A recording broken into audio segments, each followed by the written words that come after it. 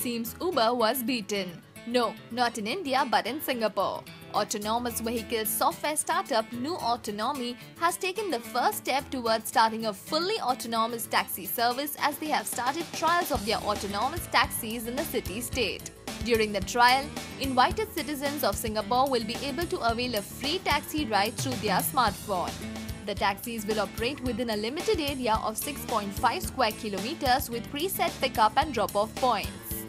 The nuAutonomy fleet currently has 6 taxis operating in this test phase, which the company wants to increase to 12 by the end of this year.